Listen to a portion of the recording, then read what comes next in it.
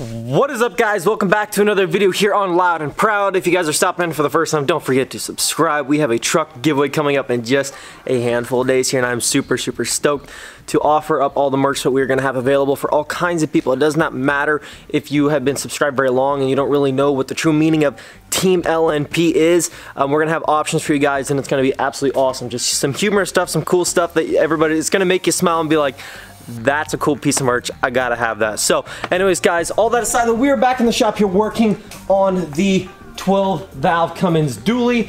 The last, I, I kind of thought it was gonna take, you know, uh, one day and then it kind of turned into two days. We are on day three out here in the shop. It's just kind of tough with all the other work. That's also another reason why I cut back to every other day for my YouTube videos is because I've got other responsibilities to take care of, you know. But anyways, we are going to be continuing working on the 12 valve dually. What we're going to try to do today, and I really, really hope we can get this done, is we're going to change out the valve springs. That's the goal. And then also put the new injectors in this thing, which are the 120 horse DAP SAC injectors, and super excited for that. So, uh, yeah, we've got the injectors sitting right here. And then we've got the valve springs right. I've done valve springs before, nothing new to me. Definitely going to be cool, okay? So I'm really excited to get these put in this truck. And, and you definitely want to do the valve springs, especially if you're doing a 4K kit. So if you're going to be doing a 4K kit on this with bigger injectors and a bigger turbo and stuff like that, you want to make sure you do your valve springs, okay? So um, don't forget about all the key components when it comes to building a truck like this. All this stuff, all that aside, I'm going to get to removing the valve covers right now, setting this all up and getting ready to go and getting this stuff done. And uh, hopefully we can get this all done and get this truck fired up today would be absolutely fantastic.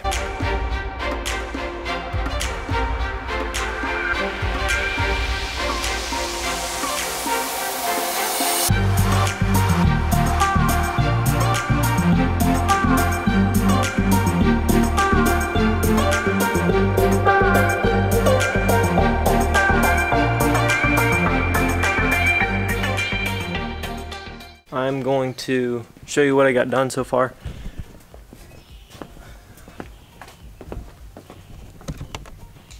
Both sets of valve springs in cylinder 6, 3, and 1. So I kind of did 3, then I went to 1, then I went to 6. I don't know if it matters, but since I'm taking out head bolts and putting them back in, um, I figured I'd start in the middle, then go to the outside, then go to the far outside. Then I'm going to do this one closer, 2, and then I'm going to go back to 5. And then also um, 4. So that's how I'm going to do it. I'm almost halfway done with them. I've done three out of the six.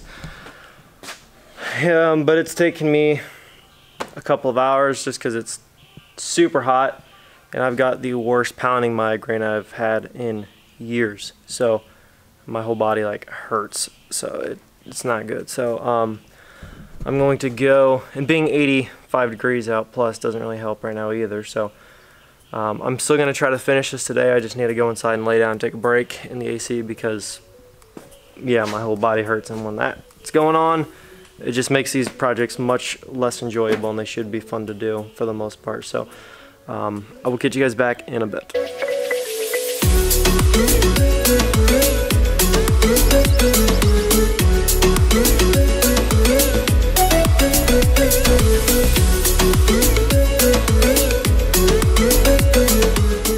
I am back out here in the shop. I went inside, I took a quick one hour nap in the basement where it was cold and I got probably 80% of my migraine gone so I was out here working getting some more stuff done. Another nice thing about doing this every other day stuff is like look outside. It's sun's going down. It's getting dark.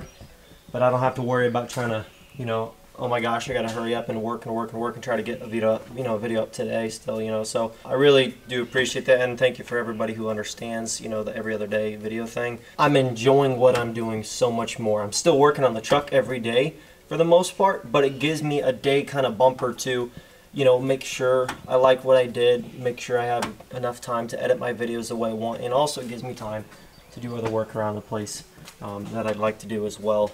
So it's all good stuff. And anyways, I just finished doing all these 60 pound valve springs. Everything looks pretty darn good. The only thing I have to do now is check my valve lash. And if you look through here and you go through here, every single one of these are pretty much tight.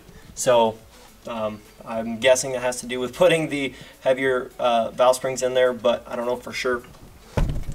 but they are all pretty much front to back pretty snug. So what we're to do is we're to rotate the engine down by the harmonic. Uh, I, I kind of get balancer and dampener mixed up. I think it's a harmonic dampener.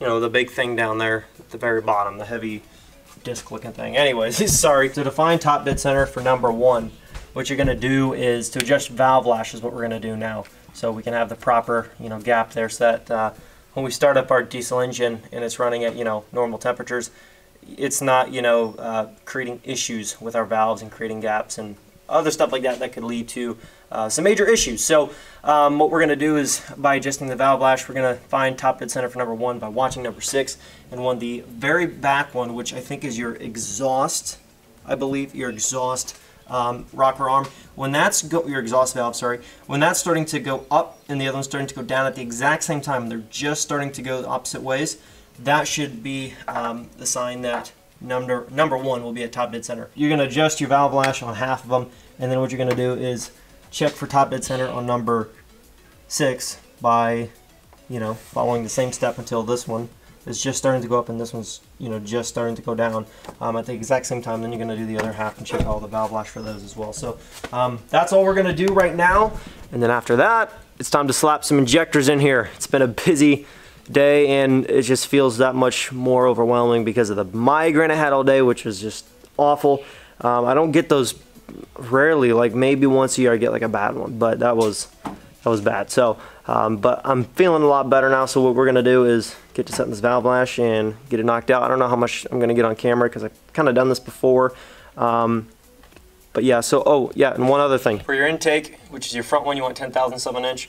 Um, and then for your rear one, um, your exhaust, you want uh, two, uh, 20 thousandths of an inch, sorry. Um, so that's how you use that measurement. That's how you're going to do that measurement. And what you're going to use are these feeler gauges. Okay. I'm to show you what I got here. I left a set of these in the description under the video when I originally did this on Nasty Reds. Um, but yeah, you can pick these up at Menards, your local hardware, hardware store. Just a basic set of feeler gauges, comes with all the stuff you need for the most part, pretty much everything you're ever going to need for this kind of a truck. Um, and then after that, that's it. Just measure it with the right one. And you, you don't want it to be like to where you can't get the feeler gauge underneath, but you don't want it to be freely, loosely under there either. You want it to be to where there's just a real slight drag. You can almost see like a little, you know what I'm saying? Just a real light drag. Um, so there's a little resistance, but not like, you know, to where you have to force it through, if that makes sense. I don't know. Um, but that's the idea of it. It's in my mind, I'm explaining it perfectly, but when I actually say it, it sounds a little bit not the way I thought it would sound. So it's, I don't know if you guys can relate, but in my mind, I know, I know what I'm doing. So anyways, we're going to get this done and then get to the fun part, which is going to be some injectors. I didn't get any time lapse of it, but I did get all the valve lash done and set. And I think it turned out just perfect. Of course, right now it's on set on top dead center for cylinder 6. So I just have a little diagram here I pulled off of Google, the forum, but if you guys haven't seen it, here it is.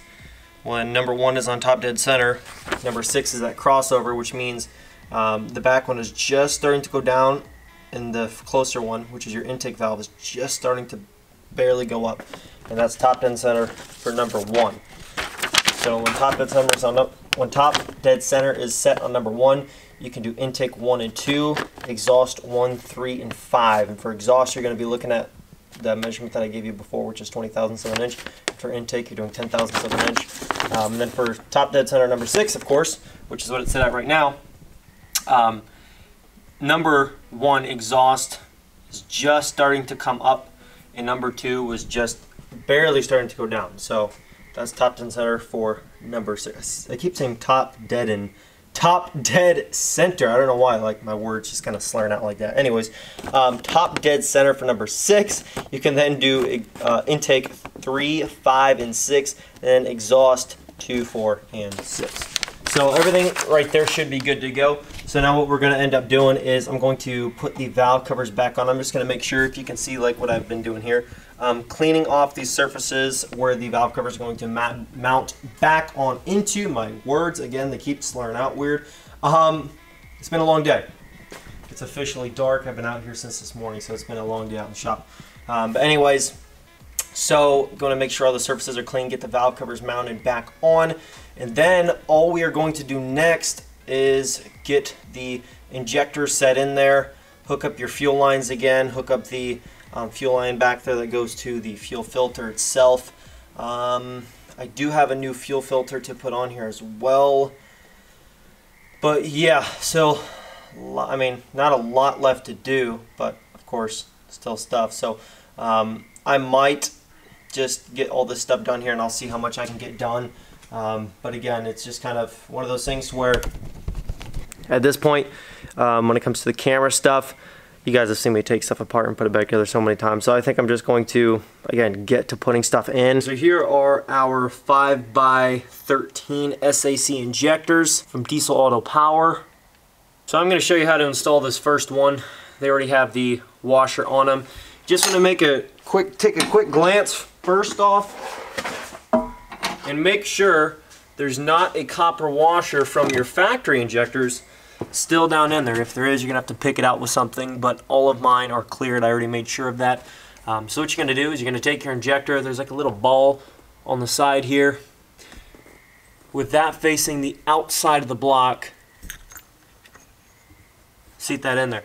Now that copper washer might fall off down in there, but that's okay because it's, you know, it's the hole's just big enough for that thing so it's going to lay perfectly flat anyways. But if you need to pull the injector back out and check just to make sure, feel free. That's where the injector is to sit. These right here, okay, these are what are to keep it anchored right down there in place.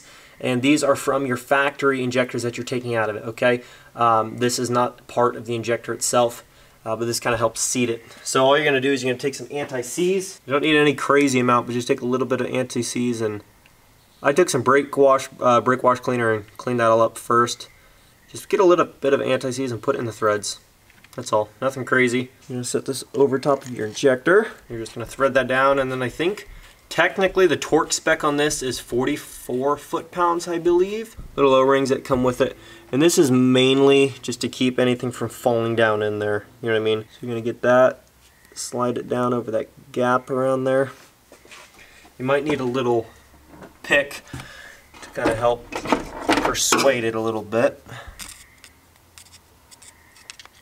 And that should be good to go. And then all you're going to do now is, like I said, take your wrench and make sure it's torqued down to spec and then uh, on to the next one. It is 1 in the morning. However, she's all back together.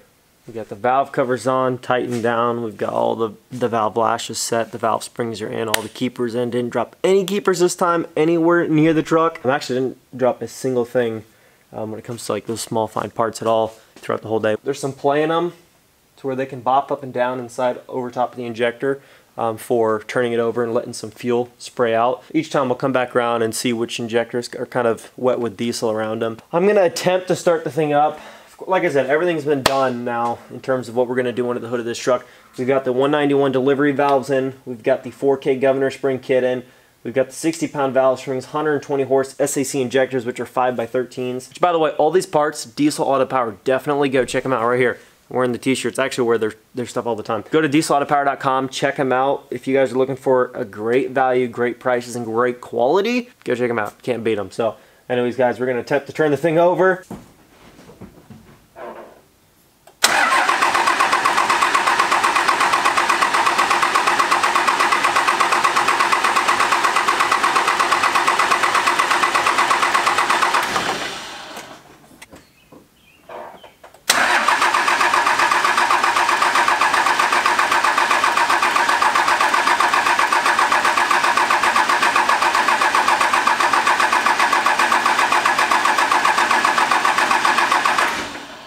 Long story short, this is the next day, about midday. Trying to turn the truck over last night. I gave it about four 15 second runs. Yes, I primed the pump and everything. And I could not get a single ounce of diesel to come out of any of the fuel lines. And they're all cracked. In fact, they were barely threaded on, just enough to keep them to where they would stay lined up.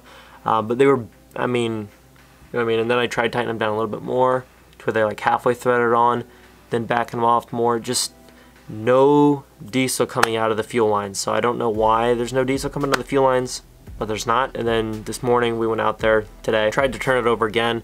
Dad was out there so I could have somebody visually looking under the hood because it's pain in the butt to do by yourself. So he's looking under the hood and we gave it another four 15 second runs, you know, just run and run and run. Try to prime it in between each time, run it, try to do it twice in a row without priming it, like trying to make sense of it. No diesel coming out of any of the fuel lines. And everything's connected back together all the boost lines hooked up to the back of the AFC housing, all the fuel lines, there's no fuel lines disconnected from the filter, like every everything is hooked back up. I can't figure it out. It could be the smallest, dumbest little thing as to why it's not firing off. I don't know what to look for, you know what I mean? Everything that I took out, I reinstalled everything perfect. Everything's back in, like I don't get why it won't fire off. So it's it's weird. It's I don't I don't understand it. So this helps you guys understand there's no fuel coming out of the fuel lines. And I even cracked them off right over top of the delivery valves. I cracked off the fuel lines there and slid up the little um, threaded section that kind of slides up and down a little bit there on the line. There's no diesel on the little where they're supposed to feed into the lines to then feed the injectors. There's no fuel sitting up in there, which there usually always is. You know, when you take those lines up, there's fuel there, so there's no fuel there either. All I know is I've got so much on my mind, so much happening. Oh, I just didn't I don't need another thing. Like, it could be, like I said, guys, it could be something stupid, something really small, you know what I mean? Because how does a truck run? Perfect. I mean, that dually, every day, you go start up, starts off like a dime, starts off faster than the first one. It's just like you touch the key and it's running, you know what I mean? So, I don't know why there's there's no fuel going through the line. I installed everything perfect, you know what I mean? Like, but it's not like the truck's getting fuel and it won't fire. It's not getting fuel. Like, there's no fuel coming out of the fuel lines. Like, because I know I'm still to have people comment, oh, well, it's probably the injectors, not the injectors. Because there's no fuel coming out of the fuel line, so they don't even have a chance to fire off, you know what I'm saying? Lots going on. And then the giveaway starting next week, yeah, kind of hectic. If you guys have any helpful suggestions for me, it's just not getting fuel. I don't know why it's not getting fuel, but it's not getting fuel. I told my dad, I was like, this install went like the smoothest, it was a full day's work, but that was the smoothest install I'd had. Like I was exhausted, I had a migraine, I was tired, but like in terms of problems that occurred in terms of working on the truck, that was like the smoothest install i would ever done on all that stuff. Everything just went picture perfect in terms of just like, not my condition that I was in when I was doing it, but um, in terms of like everything going together, it was just, it was like a puzzle. It was just like perfect. You know what I'm saying? Camera just died on me again. My card is completely maxed out. Um, but anyways, guys, don't know where to start. If you guys could help me out as to why my truck's not getting fuel through the lines, definitely let me know because that seems to be the only problem. There's just no fuel flow through the lines. So anyways, guys, if you guys can help me out, that would be absolutely fantastic. I will catch you guys soon. A lot of stuff coming up. It's going to be a super busy month. Just lots going on. But anyways, guys, thank you so much for watching. Hopefully you guys enjoyed the video. If you did, smash the thumbs up. Leave your comments down below. Subscribe if you're new. Join the team. Join the family. I'll catch you guys in the next video. Peace.